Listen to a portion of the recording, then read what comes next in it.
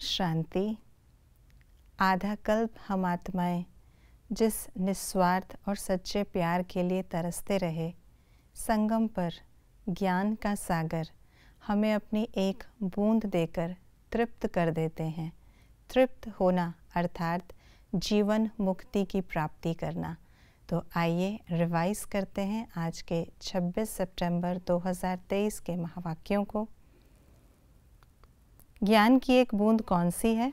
अपने को आत्मा समझो और बाप को याद करो। किस पुरुषार्थ में अपनी और दूसरों की उन्नति समाई हुई है? याद में रहने के पुरुषार्थ में, आपस में देह अभिमान की जिस्मानी बातें छोड़ रूहानी बातें करने में। इजाफा किनको मिलेगा? बाप का शो करने वालों को, सबको शांति और सुख का मार्ग बताने वालों को। किसको क्या कहा जाता है? रचिता को बाप बाप को ज्ञानेश्वर, पतित पावन को ज्ञान सागर, आत्माओं के बाप को ज्ञान सागर, पतित पावन, हिम्मत के संकल्प द्वारा माया को हिम्मतहीन बनाने वाले को हिम्मतवान। क्या होने से क्या होता है? याद में रहने से औरों को शांति का दान दे सकते, देह अभिमानी बनने से लौकिक संबंध याद आता, आत्मा को गर्भ जेल में सज़ा मिलने से शरीर में दुख भासता, याद में रहने का पुरुषार्थ करने से अपनी और दूसरों की उन्नति होती, अपने को आत्मा समझ, बाप को याद करने से मुक्ति, जीवन मुक्ति प्राप्त होती। हम किन बातों को जानते हैं?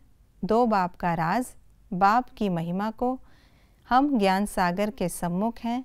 आत्माएँ और परमात्मा अलग रहे बहुकाल। हम बाबा के साथ सबको शांति का दान देते मनुष्यों ने कौन सी भूल की है? आत्मा सो परमात्मा कहना। बाप ने बच्चों को क्या समझाया है? पहले पहले प्रैक्टिस करो हम आत्मा हैं। नए आने वालों को कौन सी बातें समझानी हैं? अगर देरी से आएँगे तो कितना विक्रम विनाश कर सकेंगे।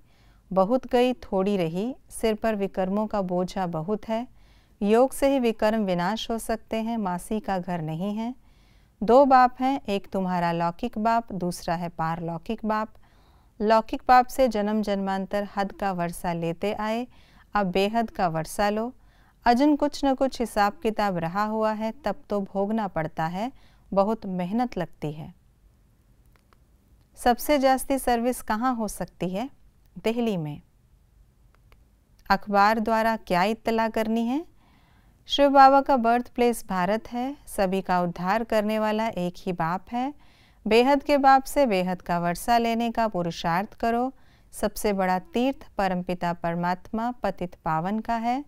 क्राइस्ट, इब्राहिम, बुद्ध आदि सभी पुनर्जन्म लेते लेते अभी अंतिम जन्म में हैं। लौकिक बाप से जन्म जन्मांतर वर्षा लेते आए, अभी पारलौकिक बाप से वर्षा लो। किसका धन सेफ़ रहेगा जो बाप के मददगार बनेंगे? सतयुग में सोने के महल कौन बनाते हैं जो अभी पूरे दानी हैं? सुख कहाँ कहाँ है? शांति धाम ये थी आज की मुरली की विशेष बातें। आज हम सारा दिन स्वयं पर अटेंशन देंगे। कि देही अभिमानी रहने का अभ्यास करना है और साथ साथ जिनसे भी सारा दिन मुलाकात करें, उनसे केवल रूहानी बातें करें, जिस्मानी वार्तालाप में ना जाएँ। और हम बाबा के साथ मददगार बच्चे, बाबा के साथ सर्विस पर उपस्थित हैं तो हमें भी बाप समान मास्टर दुख हरता सुख करता बनना है। ओम शांति।